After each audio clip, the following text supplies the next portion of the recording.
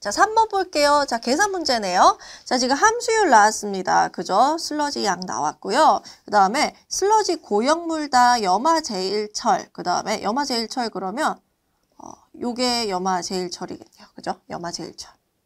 FeCl2. 그 다음에 소석해. CO. 자, 요거를 각각 어, 염화질철은 5%, 그 다음에 소석계는 20%를 첨가를 해서 자, 이 여가 속도로 지금 탈수를 하고 있대요. 자, 그러면 탈수 전에, 탈수 전, 탈수하고 나면,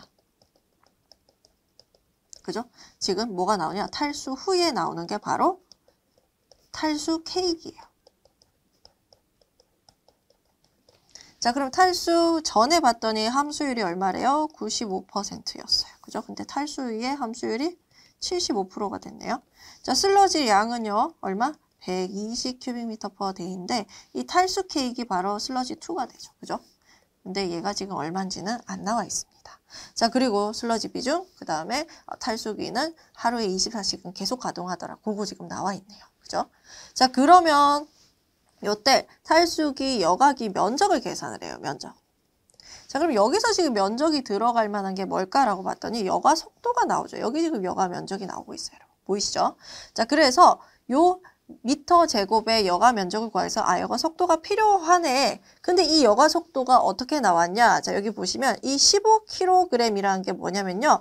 바로 이 중에 슬러지 중에서도 고형물, 고형물 양이에요.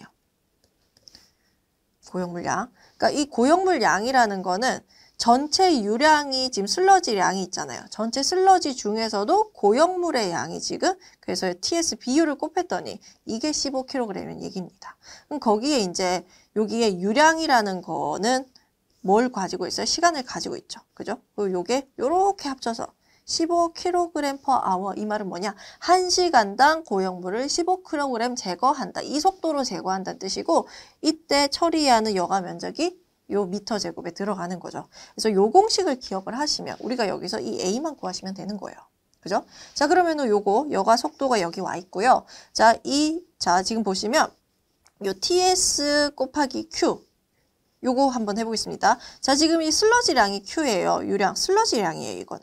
그럼 여러분, 우리 슬러지는 뭐로 돼 있나요? 슬러지는 TS와 수분으로 돼 있잖아요. 그죠?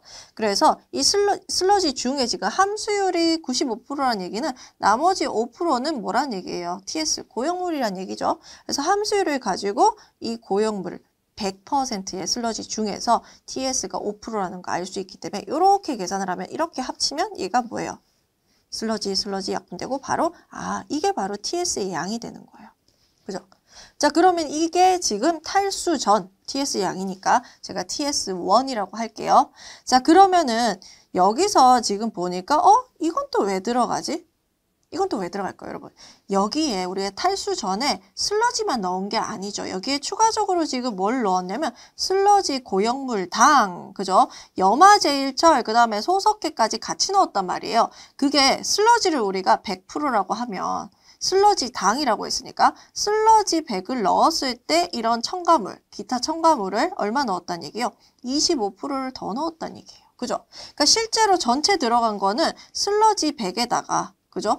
이 염화 제일철 그다음 소석회 같은 이런 첨가물들을 25%더 넣은 거기 때문에 실제로는 100%의 슬러지를 제거하기 위해서는 얼마? 125%의 양이 들어간 거예요. 그래서 그거를 설명한 겁니다. 그래서 슬러지 100당, 그죠? 우리 첨가물 25%의 첨가물까지 합쳐서 전체 량이 이만큼 들어가는 거예요.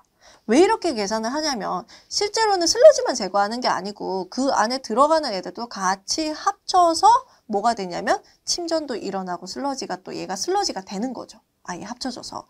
그렇기 때문에 요거 고려해야 된다는 걸 여러분 기억을 해주셔야 됩니다. 그래서 어떻게 생각하시냐? 들어가는 첨가물을 이런 식으로 다 더해서 이렇게 넣어줘야 된다는 거. 그것만 정리를 해주시면 돼요. 자, 그러면 여기까지 쭉 계산을 했더니 단위가 cubic meter per day가 나와요. 그죠? 우리가 구하는 단위는 킬로그램 per 미터 제곱 hour잖아요. 여기 단위죠. 여과속도 단위를 맞춰줘야 되죠. 그러니까 우리 지금 요 day가 있으니까 day를 없애려고 했는데 하루에 24시간 연속 운전한다고 했기 때문에 운전 시간을 여기 넣어주는 거예요. 만약에 하루에 12시간 운전한다 그러면 이거는 하루는 12시간으로 이렇게 24시간이 아니고 12시간 들어가야 됩니다. 그래서 이렇게 넣어줬더니 day day 약분이 됐고요. 아워는 맞춰졌죠. 자 그리고 또 여기 보니까 cubic meter가 있는데 우리는 여기 보니까 킬로그램 있잖아요. 그래서 그거를 맞춰주기 위해서 비중이 들어가는 거죠. 슬러지 비중은 비중이 1이다 그러면은 우리 1톤, 1cubic meter에 1톤이 있는 거잖아요. 이게 비중 1이죠. 자 그러면 요거는 1cubic meter당 1000kg하고 같아요. 그래서 그걸 가지고 요걸 넣어주면 우리 cubic meter를 뭘로? 밀도를 이용해서 질량으로 바꿔줬어요. 그럼 단위가 전부 다 킬로그램 per 미터 제곱 hour. 여기도 킬로그램 per 미터 제곱 hour로 들어가는 겁니다. 왜요? 여기 면적을 넣어주면 그렇게 되는 거죠. 그러면 우리는 이 A만 뭘로? solver에서 미지수로 둬서 계산을 하시는 겁니다. 그렇게 해서 계산을 했더니 20.83333이 나왔고요. 그래서 우리가 여기 sub 1번 정답을 적을 때는 얼마로 적어야 되나요? 네, 셋째 자리에서 반올림해서 20.83m 제곱으로 이렇게 적어주시면 돼요. 그 다음에 2번 문제 볼게요. 이번에는 탈수 케이크를 구하래요. 이 탈수 케이크는 첨가물과 슬러지를 가지고 이제 탈수를 시켜서 나온 SL2 값이에요. 그러니까 탈수의 값입니다. 자, 우리 탈수할 때, 자, 봅시다.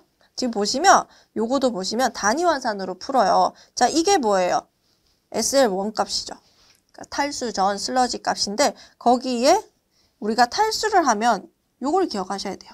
다른 거는 다 변해도 그죠 수분이 제거되죠. 탈수로는 수분이 제거되는데 TS량은 변하지 않아요. 그러니까 고형물은 제거가 안 되잖아요. 그래서 우리가 슬러지량에서 고형물 양을 가져오는 겁니다. 이게 TS1이에요. 근데 여기에다가 다른 것도 들어가죠. 그러니까 뭐가 들어가요? 첨가물. 첨가물이 있었잖아요. 그것까지 우리가 고려를 해주는 겁니다. 그래서 TS를 기준으로 해서 우리가 TS와 첨가물까지 계산을 지금 다 한 거예요. 여기까지가 뭐가 되냐면 바로 탈수 전 TS 플러스 첨가물 양이에요. 그럼 이 TS 플러스 첨가물 이 값이 탈수 전후로 변하지 않기 때문에 이걸 가지고 이번에는 자 보세요. 이게 바로 탈수전 TS 플러스 첨가물 이게 바로 TS1이 되는 거예요. 탈수전 TS1 탈수 전 TS 값이 되죠. 그러면 이 값이 지금 변하지 않는다는 거예요. TS2도 같다는 거죠. 탈수 후에도 같기 때문에 여기는 엄밀히 얘기하면 어, TS2분의 SL2입니다. 자, 여기 함수율, 탈수 후에 함수율 봤더니 75%잖아요. 그 말은 TS는 얼마 있단 얘기예요? 25%. 그러니까 슬러지 100% 중에 TS2는 25%란 얘기죠. 그러니까 여기까지 계산한 게 탈수 전의 TS1 양이라면 그 양이 같으니까 결국에 TS1과 TS2가 같기 때문에 그게 TS2로 볼 수 있는 거예요.